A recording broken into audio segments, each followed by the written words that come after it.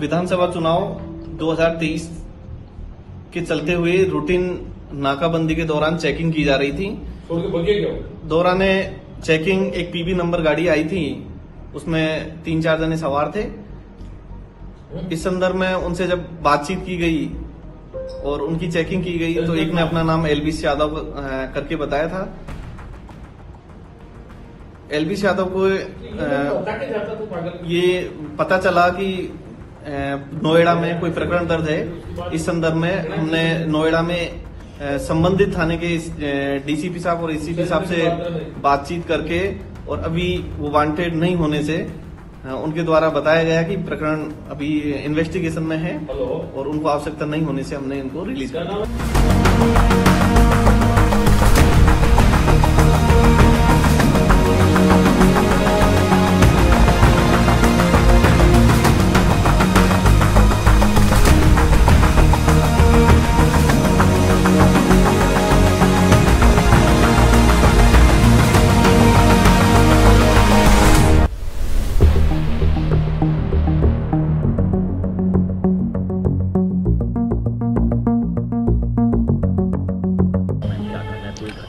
जी ऐसे है कि करीबन हफ़्ते पहले हम लोगों ने एक छापा मारा था पुलिस की मदद से मथुरा में।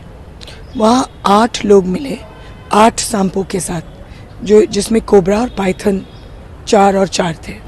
ये अखबारों में निकला था। बस हमने सोचा कि आम मदारी होंगे जो घूम फिर करके करते हैं और जिसको हम लोग दस नहीं, तीस साल से बंद करने की कोशिश कर रहे हैं। अब वो लोग जब पकड़े गए तो उन्होंने कहा कि हम एक गिरोह के हिस्सा हैं।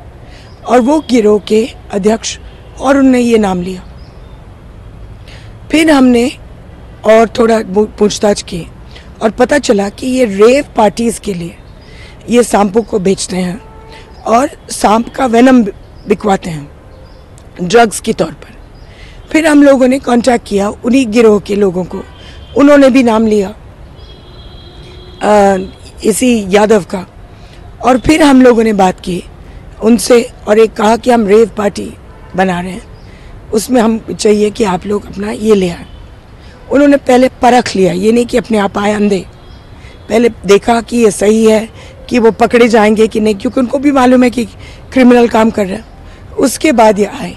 तब तक हम लोगों ने पुलिस को और फॉरेस्ट डिपार्टमेंट को बुलाया और सबके सामने ये पकड़े गए। इसमें 11 सांप मिले। पाइथन्स और कोबरास और स्नेक वेनम भी मिला है।